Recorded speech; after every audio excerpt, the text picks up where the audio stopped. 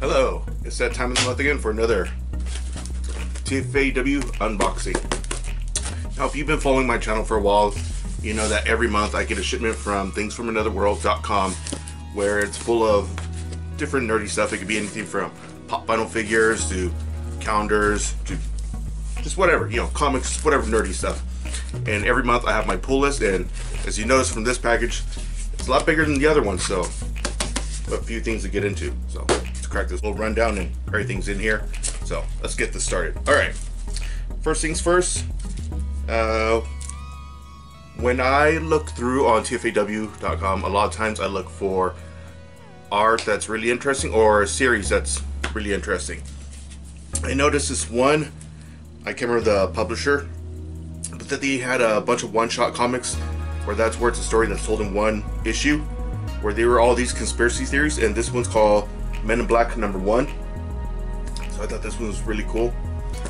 I'll actually do a video about these because these are all just one issue each, so it's easy to do a video on them, and from what I saw, they're really, really cool. There's one I think on Area 51, another one about Planet X, so all these different conspiracy theories. So, that'd be cool to check out. So that one. Next is Legend of the Dark Knights Metal. Now this one I got because I'm trying to remember who worked on the story on here. Uh, let's see. There's Snyder. There's James Tynion, Tomasi, Bennett, Tyrion, Jordie Bellaire. I don't remember. Oh, Garth Ennis, well-known writer. So he did a one-shot, one of the evil Batman that was actually a T-Rex. That one there. So when he announced it on his Twitter, I'm like, all right, gotta check it out. So, oh, and the good thing about comics like this, where a lot of people worked on them, they're good for getting autographs. A whole bunch of autographs on one thing. So I've met a few of these people, like Tomasi, uh, Francavilla, Bellaire, uh, Snyder. I've kind of met, so this would be cool to get all covered. Next up, Ghosted in LA number 11. This is the second to last issue in the series of a 12 issue maxi series by Sina Grace. I still need to get around to reading it, but I've heard great things about it, so I'm gonna have to check it out. And no, I'm not sweating by the way. I just took a shower, like take them at night. So that's why the hair is completely soaked. Next is Gutt Ghost, Trouble with the Sawbuck Skeleton Society. I remember why I added this. It wasn't the story, but it was because the art was by Mike Mignola.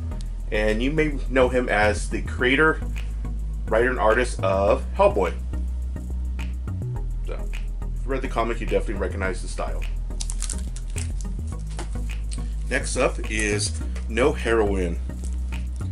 Now, I honestly don't remember why I added this, but I remember that the title caught my eye and it was a really weird thing. I'm gonna have to check these out later to review. Obviously, I'm gonna do that, and I will soon, probably.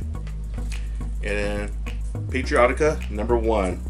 I think the company was American Press. I can't remember the name of it, but the cover I thought was really cool. The artwork. It reminded me a little bit of Terry Dodson. So, very clean cut, very um, a little pinup-y. So it's kind of cool. Oh, a few more issues. Okay, this one I got because it's a homage cover. It's meant to look like Bill and Ted's Excellent Adventure, which some of you may know about since there's been trailers for the third movie coming out. So this is Red Sonja and Vampirella meet Betty and Veronica. You know, very obvious homage there. They're inside a phone booth. Some of you may remember what a phone booth is, and some of you are too young to even know what they are. It was before cell phones, and if you needed a place to make a call, go in this giant box, put in some change, call, get a hold of someone. Okay, Rick and Morty presents Bird Person. I got this for, you know, the obvious fact that I love Bird Person. It's one of my favorite characters. I could do a okay impersonation of him, but I have to kind of not be trying. If I try it, it turns out horrible. So, maybe one of these I'll do it. And the final issue to Sex Criminals, number 30. Kevin Wada, Wada.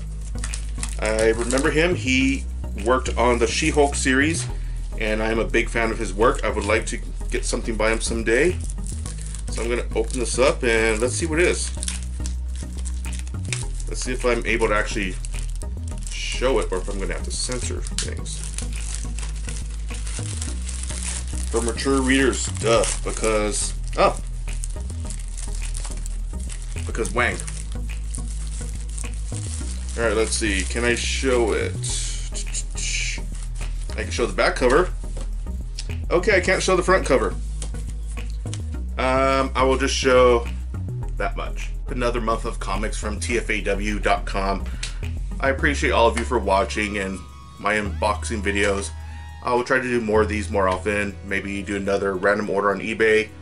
Uh, if I get a collector's edition of some game or some package, may do something like that soon. I have a few things planned. I'm still going to do some Let's Plays pretty soon. I've been experimenting with some different headsets, so might try something, see what happens. So anyways, if you like this channel, make sure you like, share, subscribe, you know, make a comment down below. Let me know what you think. Thank you, and thanks for watching. Bye.